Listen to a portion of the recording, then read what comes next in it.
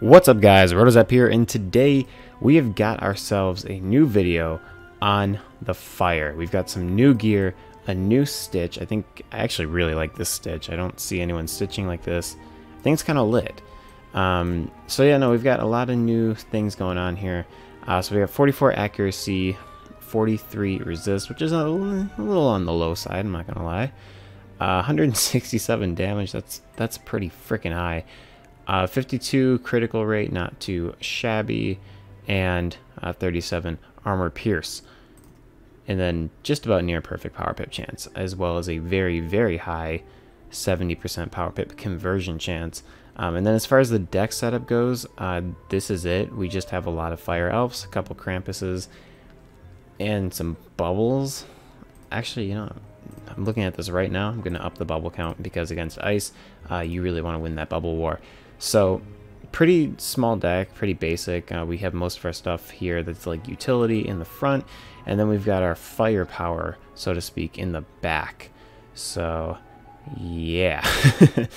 um, but we're going to get into our first match here. If you guys are wondering what gear I'm using, uh, it's the Dragoon's hat, the Robomasters. I, this is just for critical rate. Um, you could very, very, very well be using the Turquoise Eagle's Raiment. In fact, that is, you know, that's something I've played with on this character before, but I like the high critical, or the higher critical, I should say, that this gives us, so I'm going to keep rocking with that for a while. And then we've got the Dragoon's Boots, Wand, Dragoon's Dagger, um, Shane Amulet, and then the level 100 Duelist Daredevil. Now, of course, I'm looking to replace this pet not because I don't like the stats. The stats are fine, but now that Fire Beetle is banned from PvP, I'm looking to get a Fire Beetle pet or uh, maybe a, actually probably more optimally, a Velociraptor pet or a spooky, spooky puppet thing, a Scarionet. I think that's what it's called, is a Scarionet. So um, yeah, I'm looking to upgrade pet-wise just for the species of pet, but outside of that, these stats are pretty complete, and yeah, we'll just get into our first game for the day. Alright guys, so we got our very first match of the day going up against Adam Singer, who is also a fire wizard, it looks like, with the Scarionet pet that I was talking about in the intro. Really do wish I had that pet. Um, oh, he was watching my hit points. So, yeah, I mean, here I think the first thing that we're definitely don't need wildfire. Uh, the first thing that we're gonna do is probably stun block because I do not. Do, no, we don't let other fire wizards use king art on us. That is no. Uh, so we do get the first turn shadow pip, so that's a little broken. And if you guys notice there, I dumped my hand almost completely. And if you're going second when you do that, you can actually get a brand new hand, and that only happens on the first turn. And oh my god, we got another one? Jeez. um, okay, so it looks like his Scarionet here is going to use fuel. I'm fine with that. Uh, yeah, I think we're just going to do I want to start? No, I don't want to draw for any more cards. Um, I'm just going to put up this shield here and hoping for our pet to use Infallible so that I can use Elf. Because eh, Elf is Elf is good when... Okay, we're not gonna. We're definitely not gonna use Shuffle here. Um, Elf is good on its own, but it's definitely a lot better when. Uh, wait, I just realized he has like no health. Um, but no, anyway, I, I just kind of went on a tangent there. Elf is a lot better if uh, you've got the Infallible to back it up. So I'm going to just, we'll just use an Elf right now, okay? We'll just do it. Get that crit. Hell yeah. And then hopefully, since we're being so offensive, our pet will reward us. Psych! He did not reward us. he said no. Uh, so, that's not a, that's not a big deal. Uh, if our opponent doesn't shield here, I will go for the FFA. I will do it. Uh, don't tempt me. Because there's really nothing else you can do. I mean, that's doing 360 per round. That's kind of bonkers. And he's putting on a tower shield. Ah, he gets the infallible first. Okay. Not a huge problema not a huge problema here. It does. Oh, okay. All right. Okay. it does make me not. See, it makes me not even want to use any pips. Um. Guess I could just tower and make him think that these aren't set shields. I don't know. I don't. I don't know what that's gonna do for me. Um, our pet has still not given us that thick, juicy infallible. So that's a problem. But we did get like two shads off the bat, so it's kind of broke. And then we got the Ifrit that I was pulling for, uh, so that's nice. He can't just keep shielding though, and I think he is going to keep shielding. But he can't do that. You you can't do that, Adam. You know, your your war crimes will catch up with you, mister. I think we'll just get rid of that, I guess. Like, I don't, I don't know. And then we'll put on another tower shield here. Uh, so now we have a double stack tower shield, so if he wants to break it, he needs an elf. Um, but here's the deal, right? As soon as he doesn't shield, he's in big trouble, because we're going to Ifrit. we will Ifrit. The second that this man doesn't shield, he's going to get an Ifrit. He is going to get an Ifrit faster than he's ever gotten one in his life. And if he decides to Ifrit into a set shield and other thing, then he's just dumb. Uh, okay, looks like he's putting on stun blocks now. Very important move on Adam's part. However, however, uh, we are just going to take the open fire from above here because why would we not? And next up, we can follow it with an Ifrit. Again, he shouldn't Ifrit here. This is not the time to Ifrit. Um, but if he does decide to Ifrit, that's okay, because we'll still have another tower shield. Uh, it'll do no damage. And I, I, think we've got some things that we can do to take off the Ifrit weakness. That does... Did, did it say 5? 5,300? Oh my god, we didn't even have Infallible. Alright, this guy is a true glass cannon. Holy crap. Like, what do you do? I used one FFA and this man has been shut. Alright, so he is going to use Ifrit. Ah, that's fine. Okay, yeah, you can you can get a critical. It's fine. Uh, just hitting into a 70% shield. That's fine.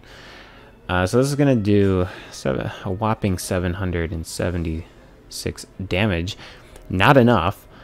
And, you know, oh, he's got two Shadow Pips, though. Uh, he can't... I mean, jeez, guys, I can Ifrit him back, okay? Think we're going to do that. I think we're going to trade Ifrits here. And uh, you know why I'm trading Ifrits? Because he can't do anything, okay? He literally can't. Like, what is he going to do? I don't know. Like, this could very well do 300 damage, even with the Ifrit weakness. Oh, it did 400 damage. Wow, that almost killed him. And then we have the Fire Elf for next turn. And with that, we're done. Our pet never actually used Infallible, so that's kind of funny. Um, but we didn't need it. We didn't need it. All it took was one open FFA. And you guys saw exactly what happened, right? We used a Fire Elf. Oh my god, 900... What? Dude, this guy must have zero resistance. Anyway... So, no, we used the Fire Elf to our advantage because he kept having to shield over and over again every single turn. And then the turn he didn't shield, we hit him, it sealed the game. So, pretty good game for our first one here. I'm going to get into our second game, though, right now. Alright, so we got our second match of the day here going up against Kevin Soulsword, who appears to be a storm of sorts. And uh, I think we should be able to take on a storm here. Um, they can be a little scary if they're hitting max bolts and whatnot, but uh, outside of that, I mean, honestly, like Storm are pretty harmless, in my opinion at least. Uh, we'll keep one bubble just in case he does decide to uh, go for maybe a, I don't know, whatever the storm bubble is called. And uh, we didn't get a shield. It's not great. But we can put on a stun shield, that's for sure. And then we're definitely going to elf this guy. Please turn one. Turn one infallible. Come on, since we didn't get it. Ugh. We didn't get it at all last game, so I was hoping maybe. Uh, ooh, it's not the right kind of shield either. Uh, we're, we're digging too. we're digging through this deck right now. So he's going to Wild Bolt us because Brainless... What?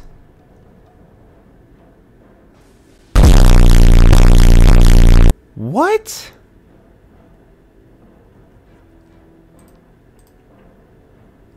Why does... Why?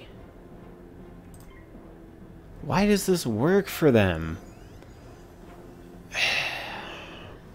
okay. Um... Okay, so we do get a Storm Set Shield. I mean, if he's just going to be spamming Wild Bolt, because it doesn't really matter. Yeah, you've got a stun block, Buckaroo, or else we will mess you up.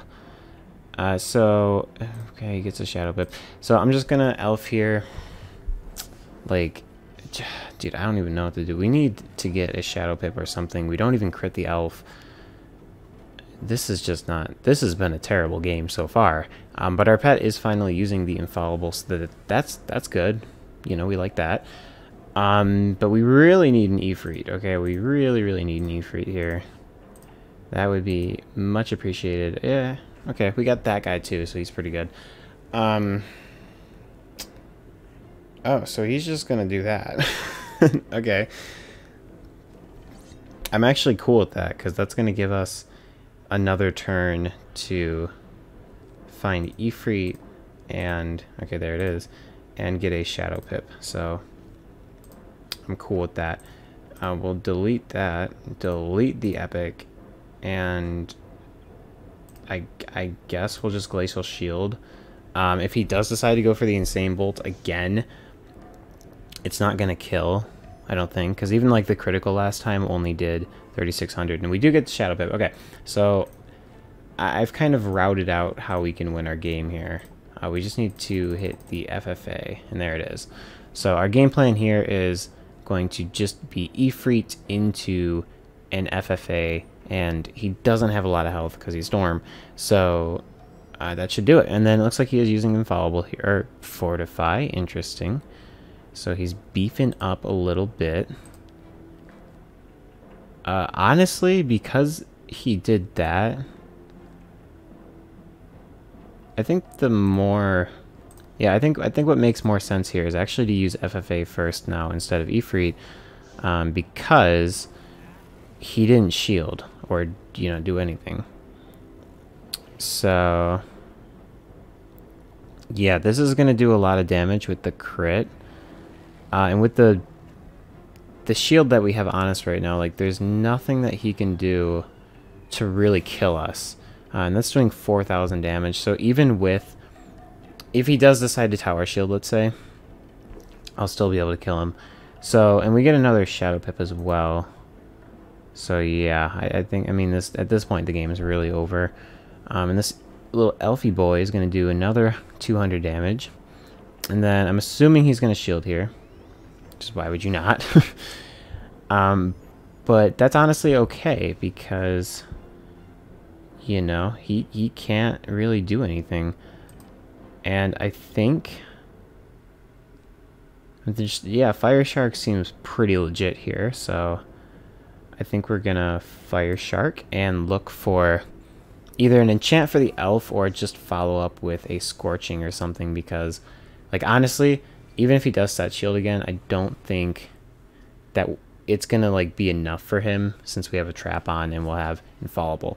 Uh, so this should do around 500 or so, or 300. Wow, okay, he must have some decent flat resist.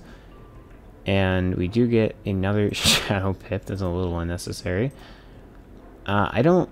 We have a Stun Block on us, and we have a Set Shield, so there's really nothing he can do to us. He's just kind of prolonging the inevitable here. Uh, Fire Dispel, interesting. Okay. That's fine. Yeah. Okay. Uh, that's fine. Because again, like, we're just in a position here where he can't do anything. Uh, our infallible is up. I Oh no, we have one more turn on it. Cool. So, yeah, no, he can't really do anything to us. Like, because even if he insane bolts, like, then he just loses. Okay, sure, you can set shield, but what is that going to accomplish? Mmm. Okay, so we're in an interesting spot here.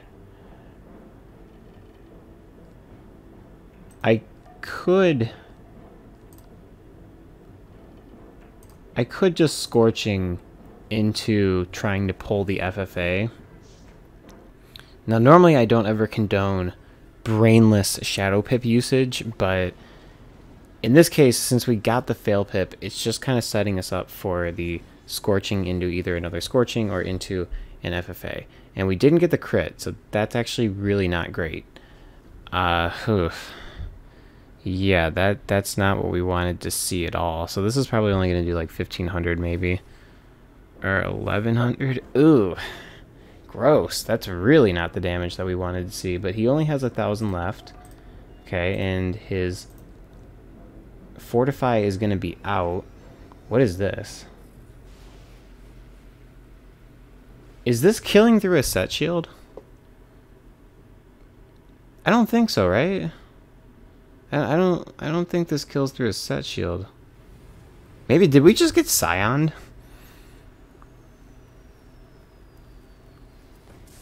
Bruh. okay. That's lit. um, we did pull the FFA here. I think we'll just use... Which one has more accuracy? Oh, it doesn't matter. We have perfect accuracy. Um, okay, so that was really close. um, I was pretty convinced when he hit us with a turn 2 critical insane bolt that we were going to lose the game, but I guess not. I guess not. I guess we were able to pull ahead here. So if you guys enjoyed the content today, if you guys liked me dusting off the dust on the fire, getting them back out in action, uh, let me know. And of course, I will see you guys in my next video. Rotozap out. Peace.